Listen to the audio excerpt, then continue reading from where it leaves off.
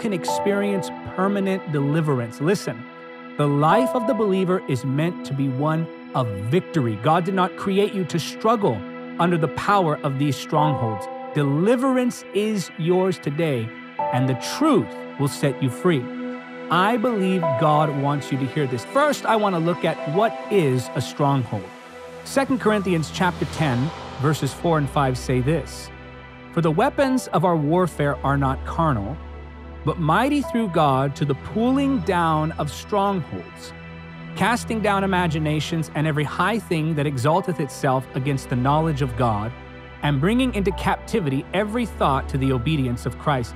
Now, the context of this portion of Scripture is Paul the Apostle defending the legitimacy of his apostolic authority certain pretenders who were very jealous of what God was doing with Paul the Apostle began to speak against him, saying that he wasn't a true apostle. They began to belittle him in front of the church. So, Paul the Apostle responds to this and he calls their slander, he calls their gossip, he calls their arguments and reasons, he calls those things a stronghold. Now, a stronghold in the natural realm is like a fortress or a castle or a wall any structure that prohibits the movement of one army into the land that belongs to the one who owns the stronghold. It's a, it's a term of war, it's a term of uh, describing a place of safety and strength.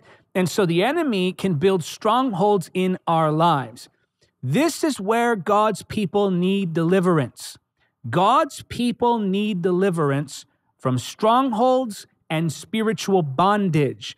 And the root of all strongholds is deception. Paul the Apostle compares these imaginations, these deceptions, to these mighty structures that are difficult to remove. And so he says, the weapons of our warfare are not carnal. In other words, we wage a spiritual war, but mighty through God to the pulling down of strongholds. I love that phrase, pulling down of strongholds. It's describing the utter obliteration of these structures in our lives casting down imaginations and every high thing that exalteth itself against the knowledge of God, and bringing into captivity every thought to the obedience of Christ. So we come against these strongholds with truth. These strongholds are points of deception. This is how the enemy works against the believer. This is how a stronghold works. Strongholds first begin with a lie. I want you to see this up here on your screen. Strongholds begin with a lie. That lie, once it's believed, becomes deception. Now, listen to me very closely here. A lie has no power over you if you don't believe it. The only way a lie gains power is if it goes from being a lie to deception. A lie is anything that contradicts the truth. And once you believe that lie, that belief in the lie is what we call deception. If someone lies to you and you don't believe it, you're not deceived. If someone lies to you and you accept it, now you're deceived. That deception becomes the pattern that governs your thoughts and your feelings. Those thoughts, those feelings begin to follow after the way of that deception or that stronghold. And then those thoughts and feelings begin to affect your behavior. If you feel like God has rejected you, if you think God has rejected you, you're going to begin to behave like God has rejected you. If you feel like you can't overcome sin and you think that you can't overcome sin, you're going to behave like you can't overcome sin. If you think the enemy has power over you and you feel like the enemy has power over you, you're going to behave like the enemy has rightful power over you. That behavior becomes your habits. Those habits are daily repetitions or frequent repetitions that eventually become life cycles. And this is where people don't make the distinction that they should. Habits are, are actions that you perform frequently, whether that be weekly or daily, hourly, whatever. The cycles that's what you get stuck in when you go back and forth a lifestyle of bad habits, and then a lifestyle where you're not committing those bad habits, and then a lifestyle of bad habits again, and then a lifestyle of not committing those bad habits. This is what happens to many Christians. They'll get free for six months and then be bound for six months. Free for three weeks, then bound for three weeks. So those habits, that's the frequent performance of something that you do. But those cycles, now this is where the habit comes on again, then off again. And some even repeat these cycles in years four or five years at a time, 10 years at a time, one good decade, one bad decade. And those cycles, that's what we refer to as spiritual bondage. That bondage is what produces the symptoms of guilt, shame, uh, torment, angst, heaviness, that weightiness that you feel on you. And here's the problem many Christians try to address the bondage itself or the symptoms, and they never address the root lie. They never address the root lie that is actually causing the deception. So the root lie remains hidden under all the symptoms. That bondage produces many different effects in our emotions in our life. And those cycles repeat again and again. But until you get back to addressing that lie, you're addressing the result and not the root, the symptom and not the source. Now, when you learn to expose the lies, then you learn to get to these spiritual strongholds at their very root, not surface level to where you feel good for a few weeks and then have to go back to get deliverance again. But instead, addressing the lie at its root, uprooting it, removing it, and then you watch the fruit of that stronghold begin to wither. Now, we're going to look at the stronghold and then reveal the truth that can break its power. Legalism, at its root, is an attempt to do in man's ability what can only be done in God's ability. Now, you've often heard the term religious being thrown around at people as a Christian insult. You know, people get into debates and arguments online. And instead of going to the scripture, instead of being kind to one another, instead of working things out, what's, what's the most common insult thrown at other Christians in any Christian debate on any topic? You're religious. You're a Pharisee. You're legalistic. Well, it actually has a meaning. And it's not just an insult that we use, and it's not and shouldn't be used in that way anyway. But religion is man's attempt to do what only God can do. It's to take on certain burdens that God did not tell us to take on. Someone is not religious just because they insist on biblical accuracy. Someone is not religious just because they insist on holy living. Someone is not religious just because they insist on honoring God. Honoring God, living holy, biblical accuracy, these are not marks of religious people. Those are marks of God's people. What is religion? What is legalism? What is the stronghold of legalism? It's this mindset that at its core thinks that the responsibility is on self instead of on God. Sure, we surrender. Sure, we submit. Sure, we cooperate and obey and trust and have faith. We do play a part, but the main part is God. Now, some of the symptoms of this stronghold include, but are not limited to, fear, constantly questioning your salvation, self hatred, a warped view of God, a warped view of self. You view God as angry.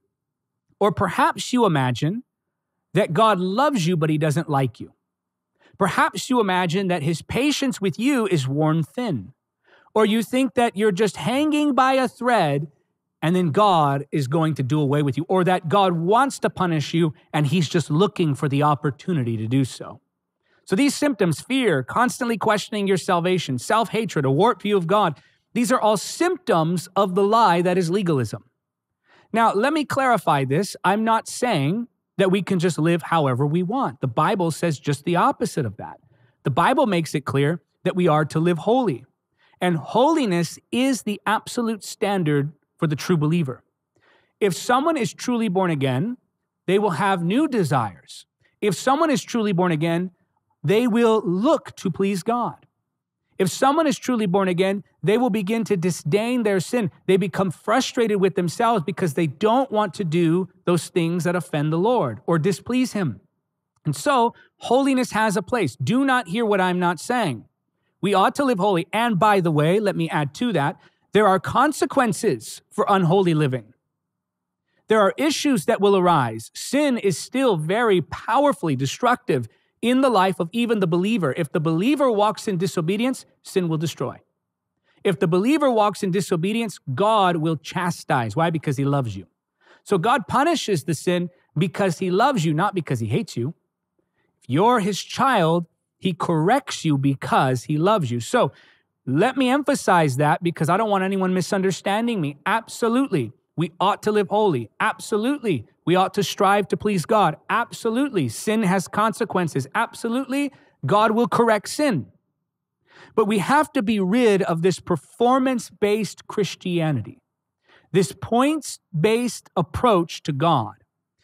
And this worm mentality that we have has to go. What do I mean by worm mentality? Well, many promote self hatred as if it's humility we understand that compared to God, we are nothing. We understand that there's nothing we could be or do without God. We understand that God is far greater than we could ever comprehend, and that compared to Him, there is no comparison. God is great, and we need Him. We depend upon Him. He's the source of life and truth. We should reverence Him. But we have to be rid of this idea that the more we hate ourselves, the more spiritual we are. That we're just these little worms before God, these disgusting creatures that God is just tolerating. Do you realize that God loves you? Do you realize that the Bible says in John 1:12, "But as many as received him, to them gave he power to become the sons of God, even to them that believe on his name. You are a son of God." I can hear the women saying, "Well, daughters too." No, son of God. You're a son of God. If we men have to be the bride of Christ, you have to be the sons of God as well. Why? Because there's inheritance in sonship. So we are the sons of God. We're not these little worm like creatures. Yes, we were sinners. Yes, we were um, on our way to hell. And of course, to some degree, we still deserve hell. But we stand now in the righteousness of Christ by faith. And the Bible says in 2 Corinthians 5:17, therefore, if any man be in Christ, he is a new creature. Old things are passed away. Behold, all things are become new.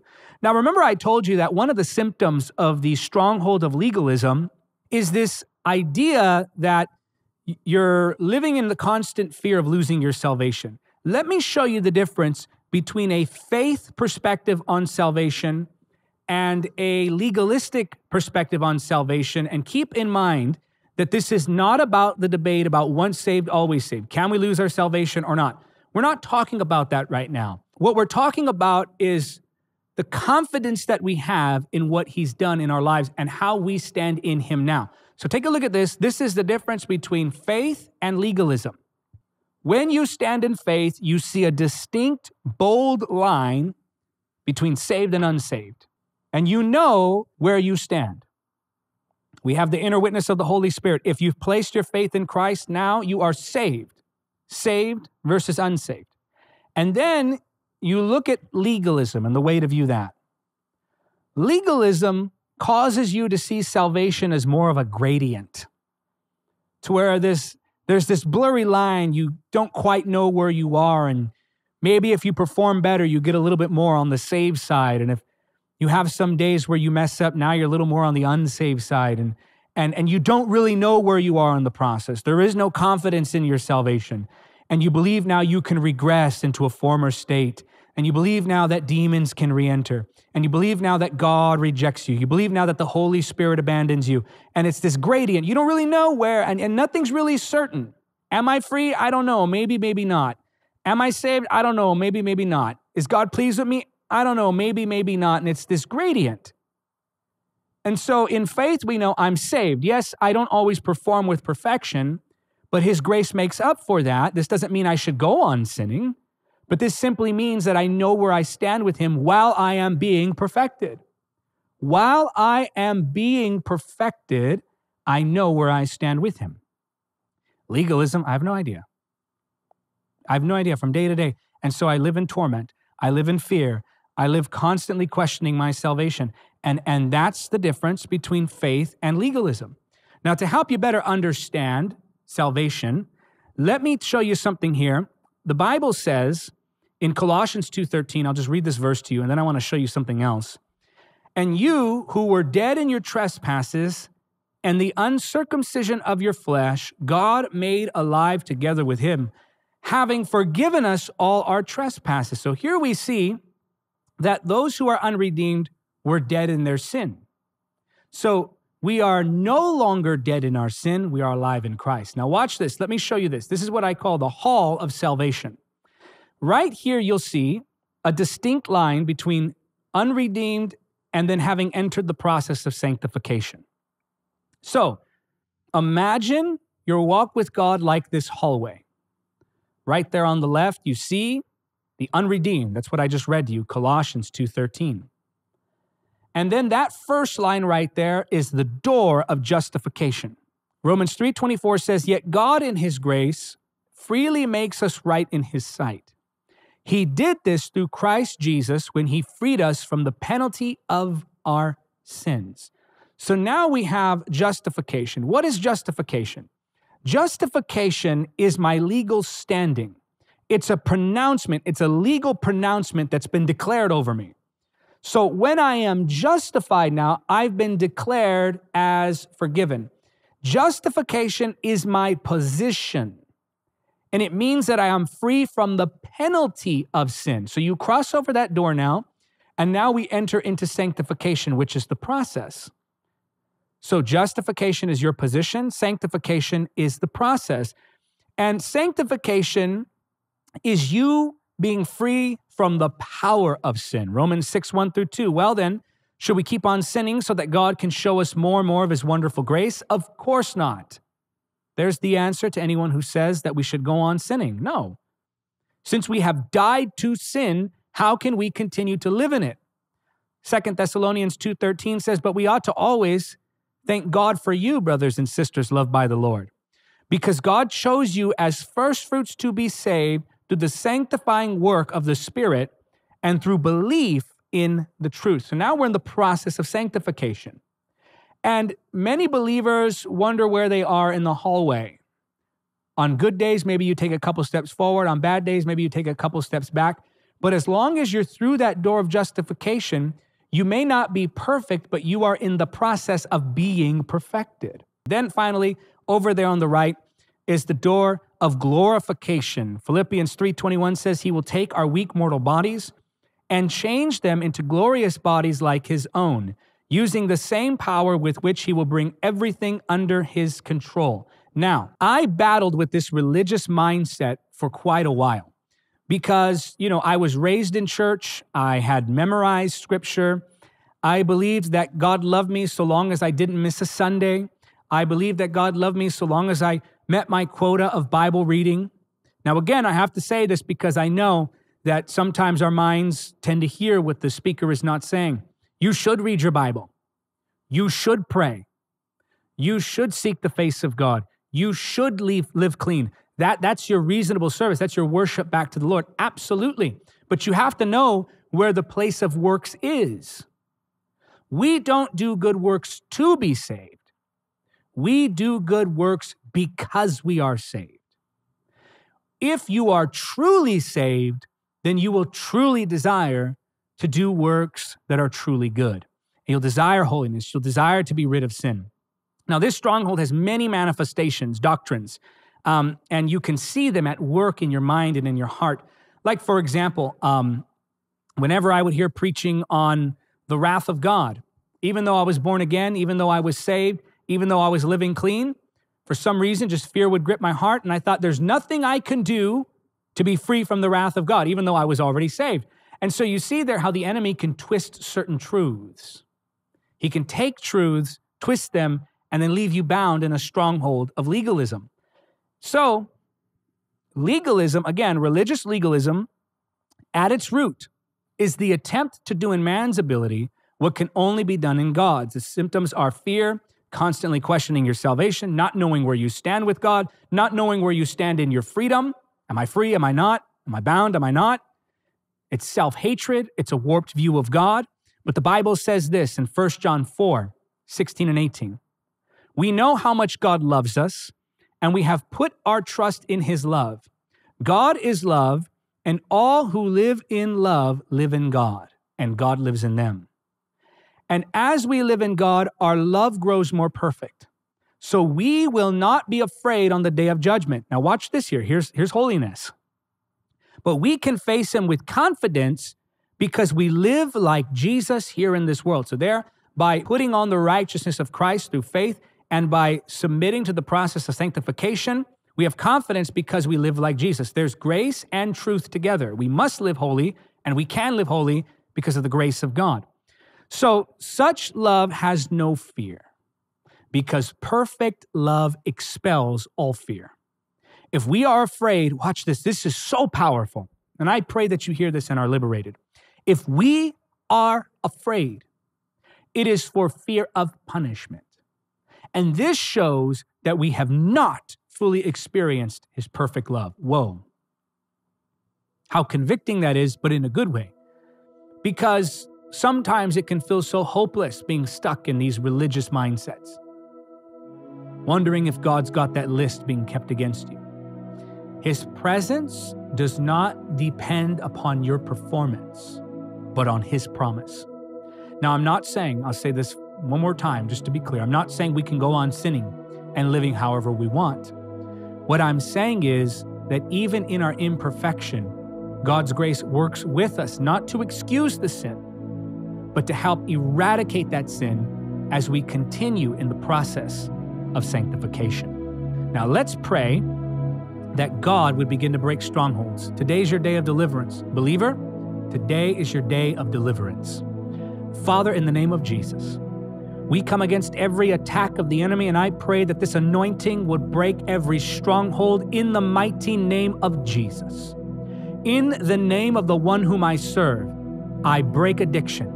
In the name of the one whom I serve, I break every chain of bondage and I command every demonic power to be silent. Be quiet, stop speaking in the mighty name of Jesus. And Lord, I pray you would give your people grace and strength to do that which they ought to do. Holy Spirit, I pray you remind them of the truth, that the truth might set them and keep them free. Let today be a day of great liberty. In the mighty name of Jesus, we pray. I want you to say it because you believe it. Say, Amen. Write it in the comments. If you want to help us in our mission to continue seeing people saved, healed, delivered, and empowered through the gospel of Jesus Christ and the power of the Holy Spirit, as we go around the world holding events and as we use media as a tool and get behind this ministry. Lend us a helping hand. There are thousands of supporters all around the world who every month pour resources into this ministry. The ministry might keep going and growing strong, and we are growing. Listen, you cannot stop a move of the Holy Spirit. The enemy may try, and he doesn't like when people are saved.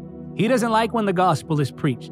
He doesn't like when the truth is ministered. He doesn't the devil doesn't want to see people saved, delivered, healed and empowered. The devil wants to do everything he can to stop that.